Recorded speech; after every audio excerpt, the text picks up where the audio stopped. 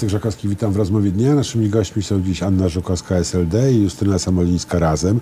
Dzień dobry paniom. Dzień dobry. E, Wirtualna Polska e, ogłosiła e, sondaż dotyczący wyborów na prezydenta Warszawy. Z tego sondażu wynika, że liderem jest Rafał Trzaskowski, 36 punktów procentowych, Patryk Jaki, 24 punkty procentowe i na trzecim miejscu Robert Biedroń, który jak wiadomo jest e, prezydentem Słupska, a nie, a nie Warszawy, e, 16%. To nic nadzwyczajnego na razie z, z tego nie wynika, ale dalej e, jest Ryszard Kalisz 6, Jan Śpiewak 3, Stanisław, e, przepraszam bardzo, Adrian Zandberg 2, Piotr Ikonowicz 2. E, Razem e, daje to kolejne 16 punktów, czyli już 32% procent w sumie na kandydatów lewicowych. Y, Więcej, znacznie więcej niż Patryk Jaki, o 10 punktów i prawie tyle co mm, Rafał Trzaskowski, który już y, prowadzi kampanię od jakiegoś czasu, więc y, ma fory. Teraz pytanie, które tu widać, które tutaj się pokazuje, brzmi, czy żeby wprowadzić swojego kandydata do drugiej tury wyborów na prezydenta Warszawy i mieć szansę na, na to, że zostanie prezydentem. E, e, Te różne ugrupowania, formacje lewicowe są, byłyby w stanie poprzeć jedną osobę, na przykład właśnie Biedronia, który wydaje się najmocniejszym kandydatem lewicy, gdyby kandydatem był. Jest taka szansa, czy nie ma? Jeżeli by się zdecydował, a ostatnio raczej z naszych rozmów wynikało, że decydował się startować na drugą kadencję w Słupsku, zresztą tak deklarował. Ale w to komentarzu Sojusz do tego- Demokratycznej by udzielił Robertowi Tak? Biedroniowi poparcia, ponieważ jest to oczywiście obiecująca kandydatura. Tylko Robert Biedroń deklaruje jednak, że będzie startował W w, komentarzu Słupsku. do tego sondażu e, mówi, że sprawa jest otwarta, że nie odrzuca pomysłu kandydowania w Warszawie. A razem by poparło? To znaczy też, to jest na razie palcem po wodzie pisane, tak? Więc ciężko o tym rozmawiać. E, My jakby A ja nie prowadzę, tak, wyjaśnić, tak. nie, nie prowadzę kampanii wyborczej Roberta Biedronia. Tylko no my- zastanawiam się, czy jest taki potencjał e, altruizmu w różnych ugrupowaniach lewicowych, żeby dla dobra formacji lewicowej e, całej, szeroko rozumianej, zrezygnować z, w- z wystawiania własnego kandydata już w pierwszej turze. Bo to inaczej znaczy- Biedroń nie wejdzie do drugiej. To znaczy, pewnie tak. To znaczy, gdyby się okazało, że Robert Biedroń kandyduje i że jest gotowość po jego stronie do gadania się jakoś z mm, organizacjami, które tutaj w Warszawie działają dla miasta, tak? Dlatego, że no Robert Biedroń jakby jest, oczywiście mieszkał wiele lat w Warszawie, e, natomiast częścią nie tych jest, organizacji. jest częścią tych organizacji, natomiast e, czy zależy o których organizacjach mówimy, tak? Bo my przede wszystkim jednak staramy się dogadać z ruchami miejskimi, z organizacjami, które działają stricte w Warszawie w sprawach miejskich. No i w tych sprawach e, Roberta nigdy tutaj nie było, to znaczy on się tym nigdy nie zajmował. Gdyby przyjechał i chciał rzeczywiście robić tutaj kampanię i chciał się dogadać, i to my bardzo chętnie, tak? To znaczy e, ta koalicja, która się gdzieś tam w, w, po lewej stronie, powiedzmy wśród właśnie ruchów miejskich, lewicy społecznej kształtuje, na pewno jest otwarta. E, I na pewno jest chętna na to, żeby z Robertem Biedroniem rozmawiać. E, W tym sondażu o tyle jest, mam wrażenie, że on jest trochę bezsensowny ze względu na to, że bardzo mało prawdopodobne jest na przykład to, żeby y, przeciwko sobie wystartowali Janek Śpiewak i Adrian Zandberg, nie? To znaczy, że... No tak, ale oni razem mają pięć punktów, No prawda? tak, to tak. znaczy, To znaczy, że... to i tak jest kandydat tak. wtedy, który odpada w pierwszej Tak, ale w ogóle taki rozkład, to znaczy, żeby Mhm. kandydował Robert Biedroń, Jan Śpiewak i Adrian Zandberg e, jest w zasadzie nieprawdopodobny, tak? No to tak, znaczy, my na pewno nie będziemy Zandberg chcieli... I, y, I śpiewak jest prawdopodobny. Bo my też z Wolnym Miastem Warszawa rozmawiamy i bardzo nam zależy na tym, żeby, żeby ta koalicja powstała. E, już e, jakby jesteśmy, najbardziej jesteśmy dogadani z e, Inicjatywą Polską i z Zielonymi i te rozmowy trwają najdłużej i to są jakby najbardziej dla nas oczywiści partnerzy. Staramy się i robimy co możemy, żeby skleić też koalicję właśnie z Miasto jest Nasze i z Wolnym Miastem Warszawa i mamy takie poczucie, że te organizacje powinny razem walczyć o głosy do Rady Miasta. Ja rozumiem, że tu SLD już by w to nie wchodziło. Znaczy myślę, że to problem jest nie w SLD, tylko raczej w tym, że wymienione organizacje w większości nie chciałyby współpracować y, z SLD, bo my oczywiście wielokrotnie podejmowaliśmy próby y, takich rozmów i, i spróbowania utworzenia jakiejś szerszej koalicji, y, ale takiej woli z drugiej strony nie ma. No my to szanujemy. Tylko też no, nie obciążajmy się, y, znaczy obciążajmy się w, w takich proporcjach, w jakich to y, rzeczywiście widnieje tym, że taka jedna lewicowa lista w Warszawie czy też y, do sejmików nie powstanie. No nie powstanie, Ale na ponieważ, prezydenta Warszawy może. ponieważ rozumiem. nie wszyscy mają taką wolę. Na prezydenta Warszawy potencjalnie tak, ale to wszystko zależy właśnie od Roberta Biedronia, bo, Bo to on musi podjąć tę decyzję. Innego czy takiego on będzie nie ma, startował. w tej chwili nie, nie sądzę, żeby w tej chwili był kandydat, który byłby w stanie e, połączyć i e, elektorat e, SLD i razem. Też nie wiem tak naprawdę, mówiąc szczerze, czy razem nie miałoby jakiegoś e, wstrętu wobec popierania razem z Sojuszem Lewicy Demokratycznej jednego kandydata na prezydenta No pani Samolińska twierdzi, że nie miałoby To wstrętu. znaczy, mm, to chodzi, znaczy poza Znaczy- popieraniem kandydata, istotną rzeczą w wyborach do miasta są wspólne listy do Rady Miasta. I rzeczywiście no, trudno jest mi sobie wyobrazić, żebyśmy mieli wspólnie pracować. na jednej liście. E, żebyśmy na przykład mieli współpracować z, nie wiem, chociażby Sebastianem Wierzbickim, którego pamiętam głównie z tego, że wyszedł z głosowania w sprawie właśnie uchwały obywatelskiej o przeciwko podwyżkom cen biletów e, 15 minut przed głosowaniem, dlatego że była obawa, że e, Platforma Obywatelska ma tak na tyle było mało radnych, że była obawa, że ta uchwała przejdzie, tak? To znaczy, że rzeczywiście zablokujemy podwyżki. W związku z tym z SLD, e, które bardzo blisko współpracuje z Platformą Obywatelską w Warszawie, po prostu poświęciło Wierzbickiego, który wyszedł 15 minut wcześniej. No i rzeczywiście dla nas i podejrzewam też właśnie dla Ale ruchów Pani miejskich. mówiła o prze- poprzedniej kadencji. Tak, tak, do 2012 roku. No, zapamiętałam to, ponieważ w O Stan na mrozie zbierałam podpisy. mało kto żyje, co to pamięta. E, no tak, ale... chodzi mi o to, że też e, ruchy miejskie, które w Warszawie występują jednak e, oczywiście nie popierają Prawa i Sprawiedliwości, natomiast e, kształtowały się jakoś bardzo mocno w opozycji do polityki Hanny Gronkiewicz-Walc. E, Myślę, że nie chciałyby współpracować z Sojuszem Lewicy Demokratycznej przede wszystkim dlatego, jak blisko SLD w Warszawie jest z, z PO. Zresztą no, pojawia się tutaj No tak, w tym rankingu Ryszard Kalisz, ale ja jestem gotowa się założyć, że SLD poprze Trzaskowskiego ostatecznie, tak? To znaczy ostatnio Ryszard zresztą... Kalisz również jest w tym sondażu po prostu przyjęty tak, ponieważ ktoś oczywiście. tak, Umownie. ktoś tak przyjął. To nie jest nasza żadna deklaracja. My też nic nie wiedzieliśmy po powstaniu takiego sondażu. To nie jest nasza oficjalna Mhm. Tak, tak. kandydatura. Natomiast ostatnio właśnie Paulina Piechna-Więckiewicz chciała się założyć z Sebastianem Wierzbickim w e, TOK FM-ie o to, czy e, że SLD wystawi swojego kandydata, no i e, Wierzbicki założyć się nie chciał. Więc e, no myślę, jakbym Ale miała nie obstawiać, to Może jest oszczędny na to, że albo Nie jest tajemnicą, że że SLD poprze Trzaskowskiego. Dobrze, nie jest tajemnicą, że takie rozmowy trwają z Nowoczesną i z Platformą Obywatelską, natomiast one generalnie utknęły w martwym punkcie i nie jest wykluczone, że to rzeczywiście się skończy tym, że wystawimy e, własnego kandydata lub kandydatkę.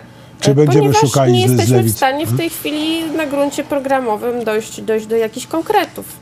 Czy ja rozumiem, że puenta tego jest taka. e, Wspólna lista lewicy łącznie z SLD w wyborach samorządowych w Warszawie niemożliwa. Poparcie jednego kandydata w wyborach prezydenckich w Warszawie możliwe. Myślę, że tak. E, Czy podobnie jest w innych miastach? Myślę, że to jeżeli tutaj jakieś Myślę, że nie. zwahanie, to myślę, że, a ja myślę, że, że raczej tak, że, Gdzie? że nie, ma, nie ma takiej możliwości, żeby, to znaczy mówimy teraz Tak. o poparciu wspólnego prezydenta, Tak, no to jest, jest takie miasto, które nazywa się Poznań i tam może być tak, że rzeczywiście to będzie kandydat, którego poprze zarówno partia Razem, jak Sojusz Lewicy Demokratycznej, Inicjatywa Polska oraz Ruchy Miejskie. E, Jest nim, jest nim Tak, tak. członek inicjatywy polskiej, pan Tak, Tomasz tak Leman-. Lewandowski. Tak. Więc takie historie są możliwe. E, I mm, nie wiem, czy w Warszawie. Warszawa to ma trochę inną specyfikę, to jest stolica i tutaj ten bój jest taki priorytetowy i wszyscy I tutaj. symboliczny. Tak, jest symboliczny, więc tutaj to jest o to o wiele trudniej, no ale tak jak już słyszeliśmy, no może być nawet z kandydatem takim, który jest formalnie, znaczy nie tylko formalnie, ale jest, jest apolityczny, ponieważ no, stara się godzić wszystkie środowiska lewicowe, być na nie na wszystkie środowiska lewicowe otwarte, czyli Robert Biedroń, no rzeczywiście też, też, tak jak pani zauważyła, łączy się z, z wystawieniem listy do miasta, więc y, no, w zasadzie rozumiem, że ta kandydatura w tym programie, jeżeli chodzi o poparcie całej lewicy w Warszawie, została właśnie pogrzebana, no bo jak poprze SLD, to nie poprze razem. No z naszej strony nie ma, nie ma tak wiceweca, jeżeli Zawieszamy tę razem poprze, to my Mamy jeszcze również. pół roku na, y, na rozmowy wyborcze, a potem będzie ta przepowiadana od dawna katastrofa, a teraz u nas jest przerwa i wrócimy już z innymi tematami. Tak.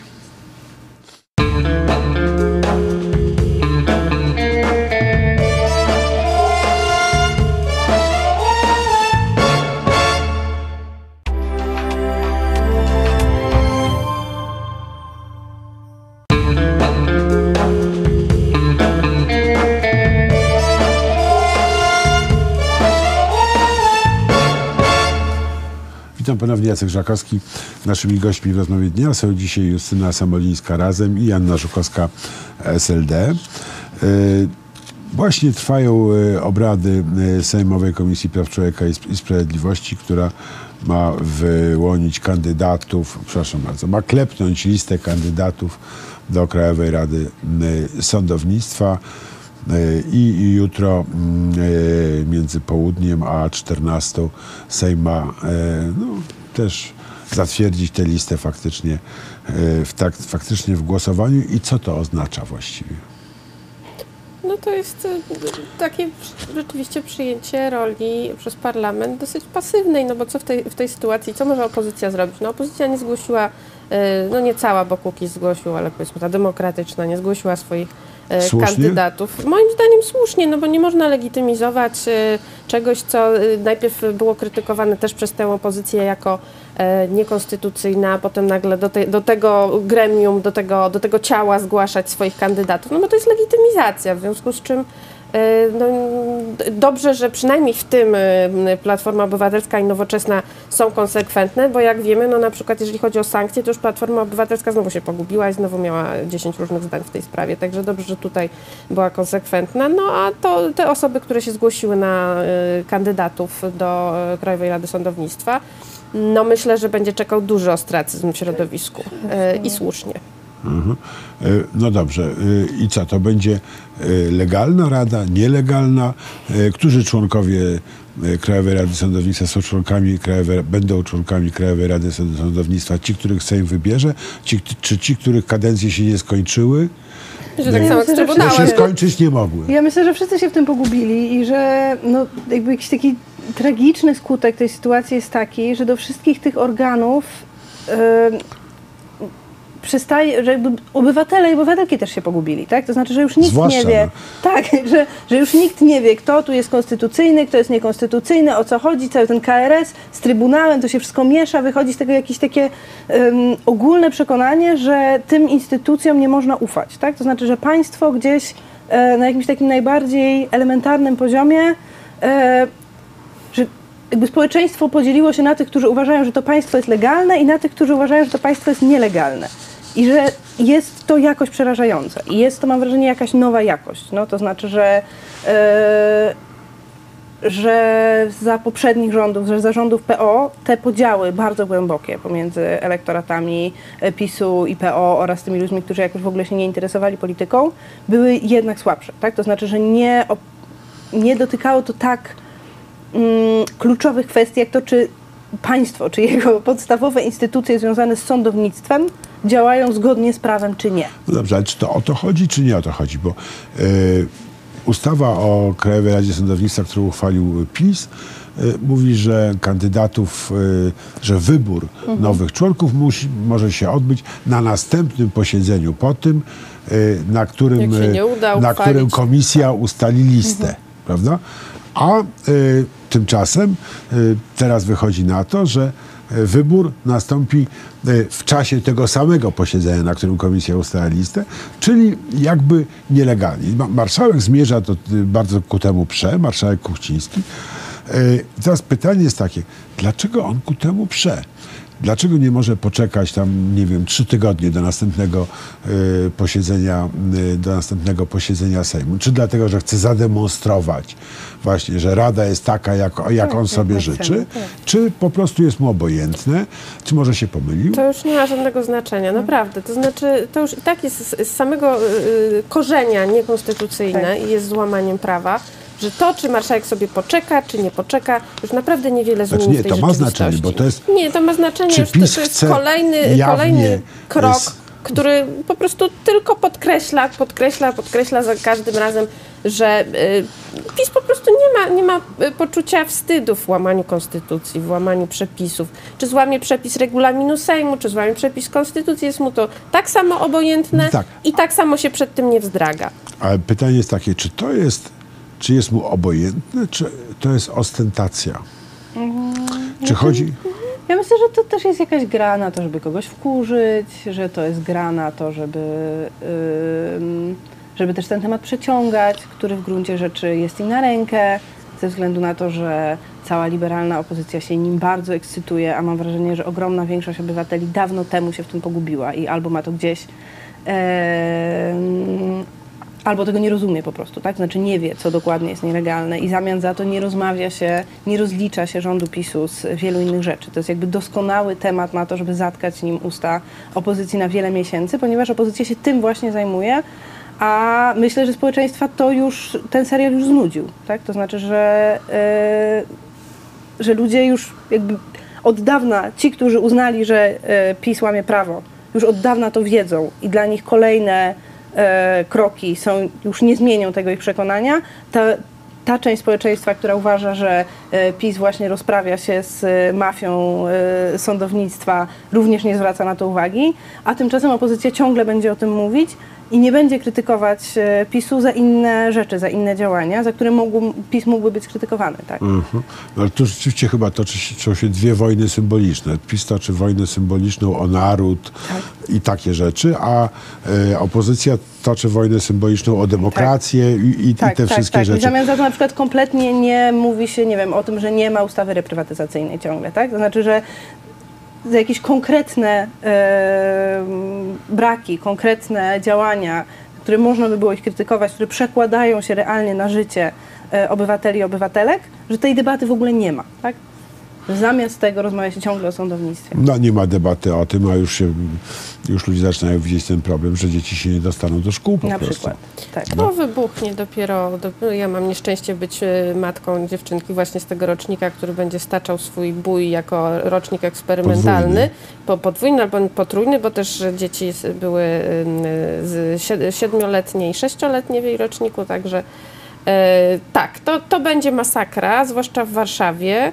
E, Są już głosy, no bo właśnie jestem rodzicem, więc, więc ci wszyscy rodzice są już e, wzburzeni, przerażeni tym, co nas, co nas czeka za rok, jak nasze dzieci będą startować do liceów, do których, e, przypomnę, nawet nie wiadomo, czy to będzie egzamin, czy to będzie egzamin na koniec podstawówki. Tego nadal, a przypominam, to już jest tylko rok, tylko rok. I my nadal tego nie wiemy. I to są tematy, które rzeczywiście tak żywo interesują e, ludzi.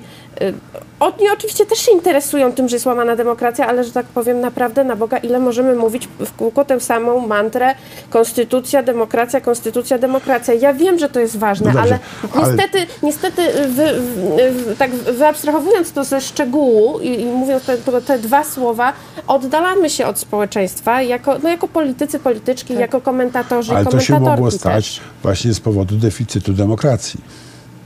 Tak? Myślę, że może de deficytu edukacji, bo rzeczywiście ba bardzo jest mała e, wiedza w społeczeństwie dotycząca tego, no już tego, jak są wy wybierani, jak powinni być wybierani członkowie KRS, no to naprawdę przekonana jestem, że większość ludzi tego nie wie i nawet nie mam ich o co winić. To są Oczywiście. rzeczy dosyć takie e, niszowe i oni nie muszą znać tych szczegółów. E, to ich bezpośrednio nie dotyczy.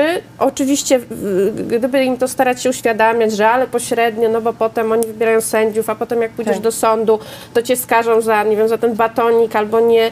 No to można próbować tłumaczyć, tylko że w tej chwili mam wrażenie, że mało kto tak, Tak, mało tak. kto tego, mało kto tłumaczy, tylko mówi o samym KRS-ie, takim, to jest tak, Tak. strasznie zawężone. Tak. Nie pokazuje tego, jaki, jakie to ma przełożenie na Tak. twoje życie A obywatelko, w międzyczasie obywatelu. okazało się na przykład, że mieszkania na wynajem z, mieszkań, z, programu Mieszkania Plus kosztują drożej niż na rynku. Tak? Znaczy, W dodatku można z nich wylecieć na bruk bez ostrzeżenia. E, tak, znaczy jest ten najem, e, najem instytucjonalny. Tak, no okazało się, że gdzieś pod Poznaniem wybudowali już te e, mieszkania i że w czynsz wynosi tam 1300 zł za 40-metrowe mieszkania, czyli no tyle co na obrzeżach Warszawy. wolnym nie? rynku. Tyle, tak, co tyle na co na wolnym- rynku, więcej niż w tamtym małym miasteczku na, e, na wolnym rynku.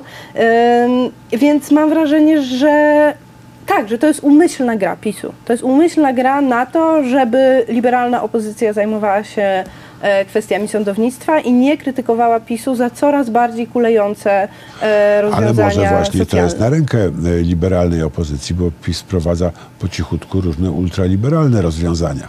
Prawda? Właśnie takie jak, jak możliwość wyrzucania na bruk, przynajmniej instytucjonalnym, czego Platformie nie udawało się Tak, albo przeprowadzić, chociaż specjalna chciała. strefa ekonomiczna na terenie całego kraju. Tak? Na przykład. Tak, no też warto się przyjrzeć e, tym rzeczom, które wychodzą z e, tej komisji powołanej przez rząd, która ma się zajmować e, kodeksem pracy.